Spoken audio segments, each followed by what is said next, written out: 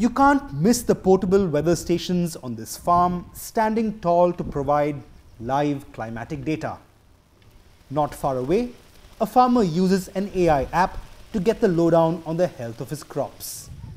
Nearby, a soil testing lab sees a technician analyzing samples to figure out the best spot to sow the next crop.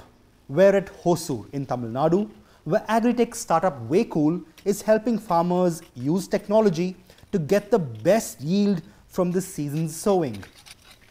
Waycool says its flagship platform, Outgrow, delivers pre-harvest tech innovations which improve yield and save costs. In the last couple of years, the company has taken the concept and implemented it at several farmlands in the south. Technological interventions at the pre-harvest stage have helped nearly 7,000 farmers do better business.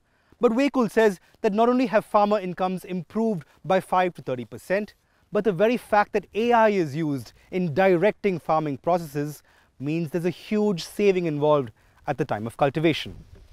The results from tech transformations at farms like this one have caught the fancy of the farming community in the region. The very fact that we are able to go from a uh, you know 60 uh, farmer pilot to a 7,000 plus farmer shows that there are benefits that the farmer is uh, you know getting out of this platform, right?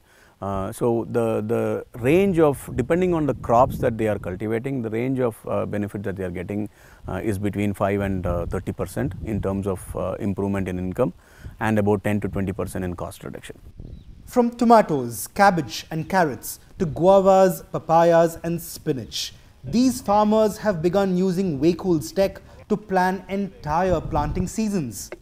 From fertigation cycles to assessing microclimatic soil data and optimizing irrigation, Outgrow also helps farmers troubleshoot through an AI tool that helps detect crop diseases and recommends treatment protocols.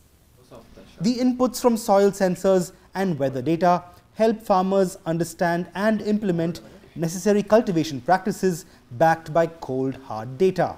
The app comes in five languages, including Hindi. Ah increase weight increase sir எவ்வளோ இருந்தது முன்னாடி இப்போ எவ்வளோ இருக்கு Our total yield has increased. Crops that used to give us 1 ton of produce now give us 1.5 tons. அது வந்து control இல்லாம போயிட்டே இருக்கும் sir Earlier, our crops used to be irrigated without checks and controls. Now I get to know exactly how much water is needed for an entire day.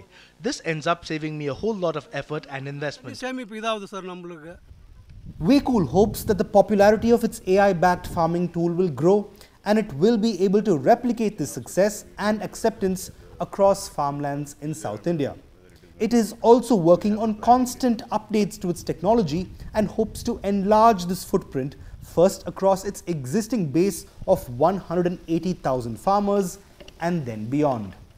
In Hosur, Jude Sannith.